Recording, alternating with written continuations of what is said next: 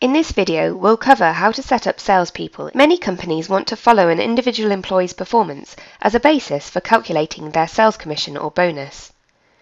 A company may also want to assign a salesperson to each of their contacts. Once you have set up a salesperson, you can select it in the Salesperson Code field on all relevant records, such as GL account, customer, vendor, contacts, and campaign cards.